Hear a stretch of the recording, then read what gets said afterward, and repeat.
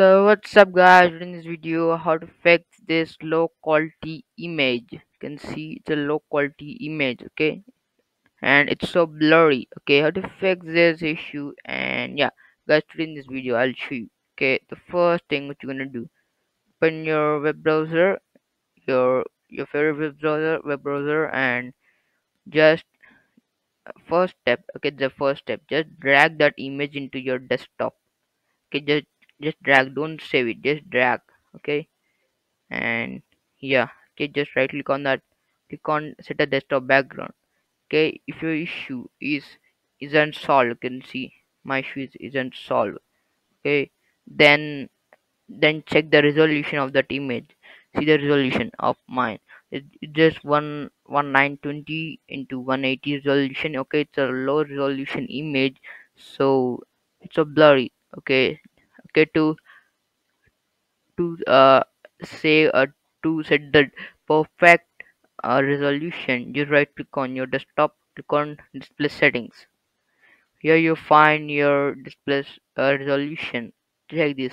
Okay 1316 to 768 just search that on your okay i want a gaming uh image.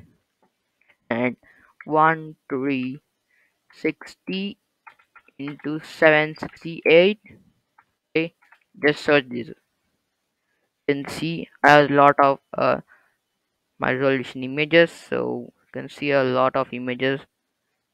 Okay now here what you're gonna do you're gonna select and uh, your favorite your favorite one.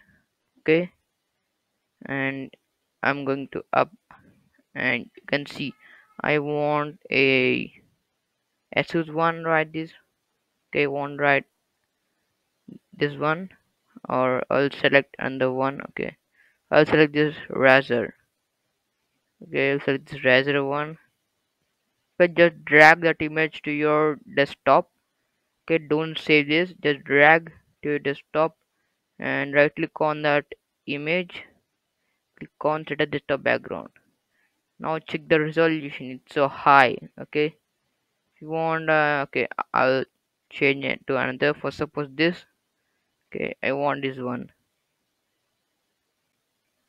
You can see the resolution is so high and you can you can enjoy the resolution. And guys for suppose i want this one okay and i'll just set adjust my uh, like my desktop background. Wow just look at that it's so hd it's so nice so Hey guys, if you watch my video, if you like my video, just click on like button. If your issue solved, just please, uh, please leave a like. And guys, if you want tutorials like this or on errors or something like this, okay, please subscribe to my channel for more more uh, videos like issues in PC. So I'll meet you in the next video, guys. Bye bye.